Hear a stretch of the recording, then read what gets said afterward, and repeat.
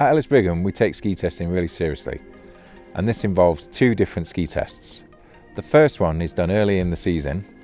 Everything's put through its paces and compared, we make the decisions what we're going to stock. Later on in the season, we bring staff out to Austria. Here, the staff test all the skis that we've decided to go in the range. This means we can make sure we've made all the correct decisions, but it also means that when you come into any of our stores, the staff there can give you personal advice. They know exactly how the ski skis because they've been on them. So this ski is designed as an all-mountain freeride ski. It's 90 underfoot. It gives you a nice generous turn radius in, somewhere in between GS and slalom. It means you can go around at full speed but also get a nice nimble short turn if you need to.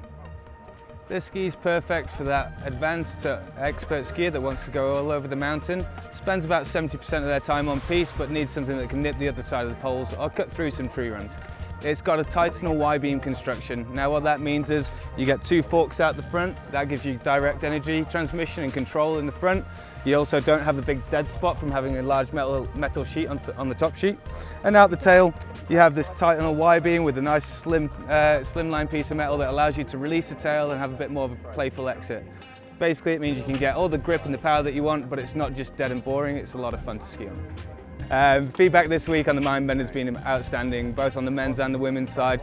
The new construction of the skis, a slight bit of rocker, the Titanal Y-beam, they're all just working and uh, in the kind of varied snow conditions that we've got.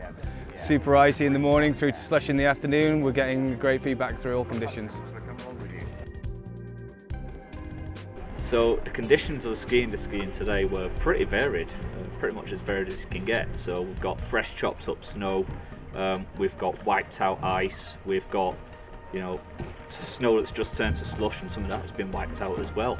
Um, it performed really well in all those conditions. Um, it's got this sort of wide Titanal frame, so it kind of puts the titanium to the edge of ski in the front, but it doesn't weigh it down. So it's springy, but it's really light, it's really playful, it really wants to pop around. And then in the rear, it's just got a little strip down to the bottom, um, which gives it that little kick, but it's not overwhelming, and it's a little bit flared at the back. So it kind of feels like a freestyle ski, but it's got that power and it's got that grip when you're on the piste.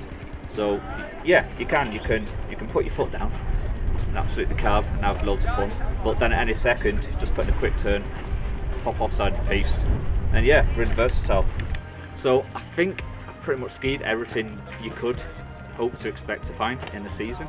Um, I think the person that would really looking for the ski or that would really suit the ski is somebody who yeah, maybe doing the season or is looking for a ski that will do pretty much absolutely everything, um, but maybe with a more playful feel to it.